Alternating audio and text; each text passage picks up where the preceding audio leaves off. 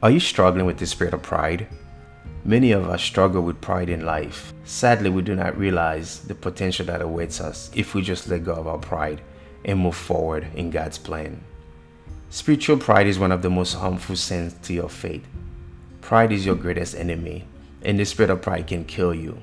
Spiritual pride affects both Christians and non Christians. The spirit of pride lies, it deceives, it tells us that we are better than we are and we deserve to be happy, but whatever it costs. Ultimately, the spirit of pride causes us to elevate ourselves to the place of God, just like Lucifer tried to do before he was cast out of heaven. God hates sins. He hates every sin. He can never reconcile to it. He hates nothing but sin. But there are some sins God hates more than others. Proverbs 6 verse 16 through 17 tells us, These six things the Lord hates. Yes, seven are an abomination to him a proud look, a lying tongue, hands that shed innocent blood. We see that there are seven things that God hates, and pride is the first one. Since the beginning of time, since the beginning of time, pride has reared its ugly head and has caused widespread devastation. The most harmful thing about pride is what it will do to our relationship with God. Pride will wreck and ruin your walk with God. Pride corrupts the heart and is like a terminal disease that spread into the heart and brings death. Pride kills your love for God, kills your passion for God, and kills your desire for God. Proverbs 16 verse 18 says, Pride goes before destruction, and a haughty spirit before a fall. If you suffer from the spirit of pride, it will bring destruction and a curse, causing you to stumble. Psalm 119 verse 21, the Bible says, You rebuke the proud, the cursed, who stray from your commandments. God resists the proud. In James 4 verse 6, the Bible says, but he gives more grace. Therefore, he says, God resists the proud, but gives grace to the humble. And in Proverbs 18, verse 13, the Bible says, The fear of the Lord is to hate evil, pride and arrogance, and the evil way, and the perverse mouth I hate. God attempts to hide pride from us through dreams. So in Job 33, verse 14 17, the Bible says, For God may speak in one way or another, yet man does not perceive it. In a dream, in a vision of the night, when deep sleep falls upon men while slumbering on their beds, then he opens the ears of men and seals their instruction, in order to turn men from his deed and conceal pride from men. Sometimes sickness in your life could be the result of pride. In Job 33, verse 19 to 22, the Bible says, Or God sends sickness and pain, and even though no bone is broken, so that a man loses all taste and appetite for food and doesn't care for even the daintiest dessert. He becomes thin, mere skin and bones, and draws near to death. God is able to humiliate those who walk in pride. Daniel 4 verse 37, the Bible tells us, Now I, Nebuchadnezzar, praise and glorify and honor the King of heaven, the judge of all, whose every act is right and good, for he is able to take those who walk proudly and push them down into the dust. If you want to overcome the spirit of pride, repent and forsake pride. Spiritual pride is a sin, and like every sin, it should be confessed and forsaken. Do not rationalize it. Do not spiritualize it. Be sincere. Do not be a hypocrite. God sees your heart. He knows whether or not there is spiritual pride there. The sin you do not repent and forsake will become your master. The Bible says in 1 John 1 verse 9, If we confess our sins, he is faithful and righteous to forgive us our sins and to cleanse us from all unrighteousness. So repent so that you do not perish. Let us pray. Confession. I renounce the spirit of pride. I renounce the lie that I have to have all the answers. I renounce the lie that in order to be acceptable, I have to prove my knowledge and understanding in spiritual things.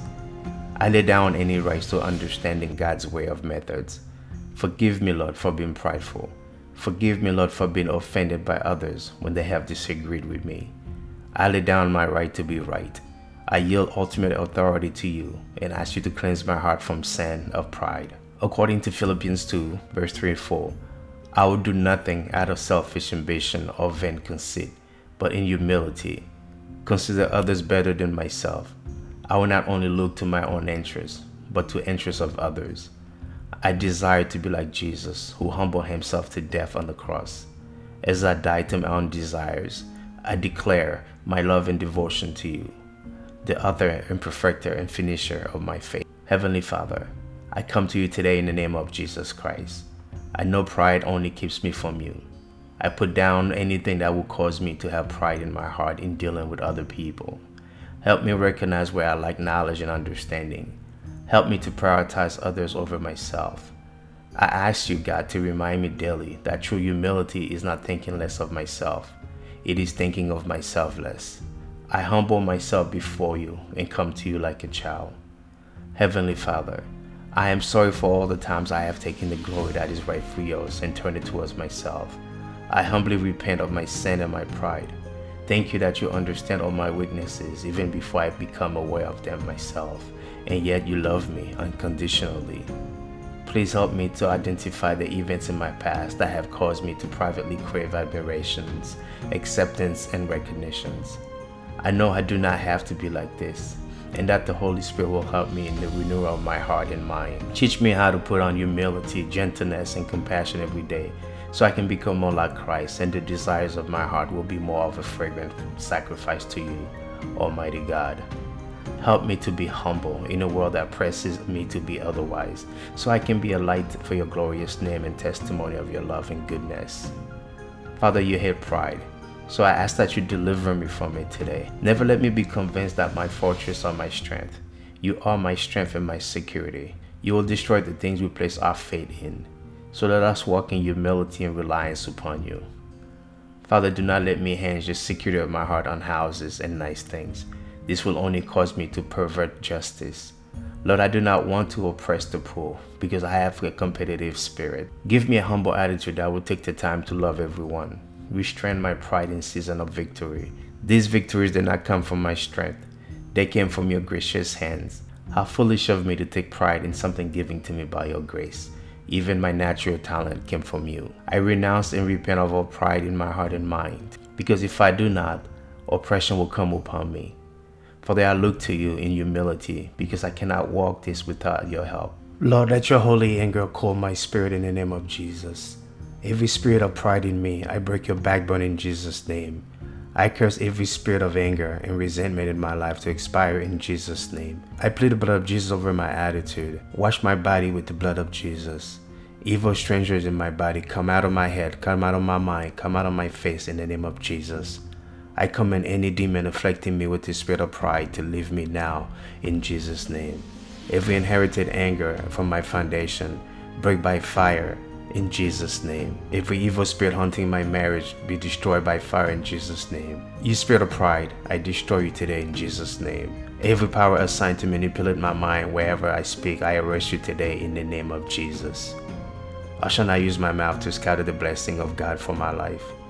Every wicked act done deliberately against people in order to win them, I destroy that spirit in Jesus' mighty name. Spirit of pride in my life, break today by fire in Jesus' name. I pray this in the mighty name of my Lord and Savior Jesus Christ of Nazareth.